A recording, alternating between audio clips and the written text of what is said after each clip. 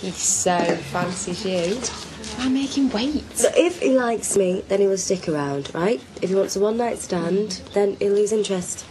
Without denting your heart or your ego. Exactly. I like it. Well, surely that's the most important thing in, in, in any relationship. Oh, you'd know more about it than I would. Well, Ryan, I'm not just talking about romantic attachments, but being true to yourself. Be honest. That should be enough for anyone. Honesty from you. No, I'd like to second that. Yeah. Honesty is absolutely the key to a happy marriage. Just ask my Vivian. Well, thanks, and for the drinks. Hi. Oh, hi, Mum. Uh, I would invite you to join us, but I'm on a date. Oh, don't worry. Perfectly happy with my own company. Well, that's of the attentive bar staff. Thank you. Thank you. Good. I'm just uh, going to get this uh, check on you on. Oh, good day. Out.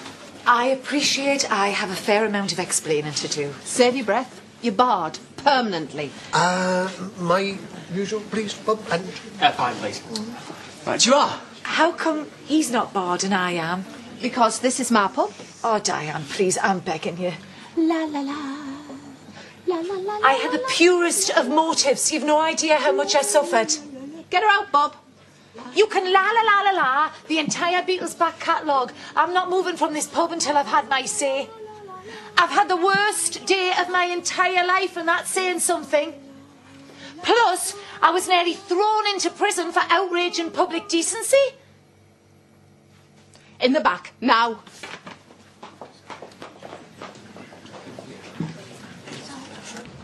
And number 69? Good. And three plain naan bread and two. Uh, make that three pilau rice. All right? Good. Thank you. See you shortly. Good to see you two getting on. What was Ryan? No, it was just small talk, that's all. I knew once you got to know him, you'd feel differently. Hardly think so, Faye. You'd feel he was a man you'd be proud to call your son. He's a credit to you. A real credit.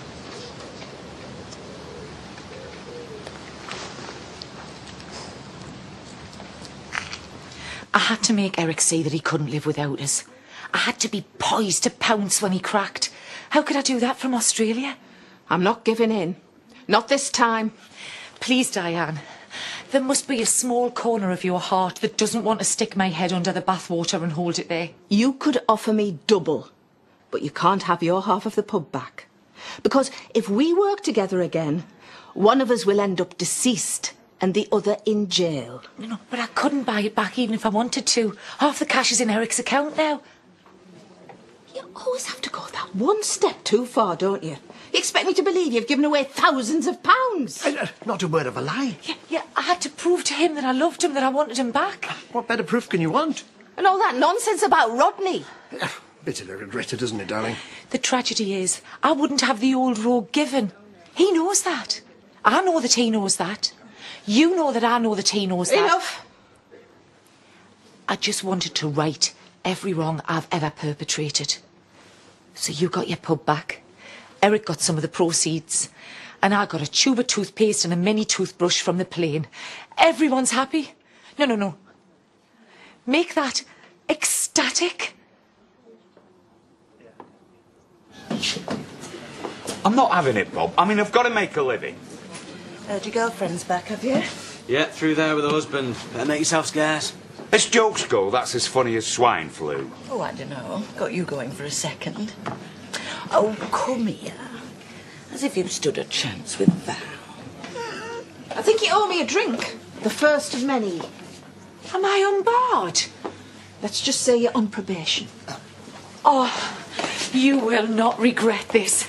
I'm going to be your best customer.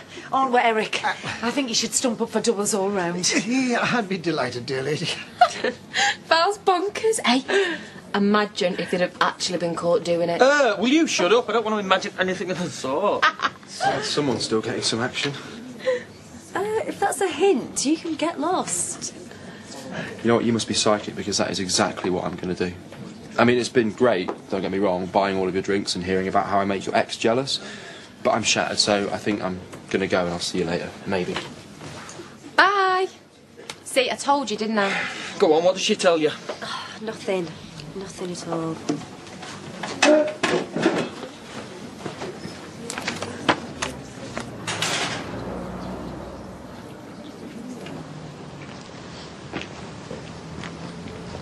Didn't um, go so well. Eh? Nathan was right. The girl's a mare. Nah, Probably for the best. I mean, last thing I need if I'm going to Dubai is to be in a relationship, right? Quite. I don't want to have a good time. I don't want to be. I don't want to be worried about phoning someone at home all the time. But you will keep in touch, won't you? With my mum, yeah. There's no one else here for me. Never has been, never will. In fact, in fact, the sooner I get out of here and get a life, the better.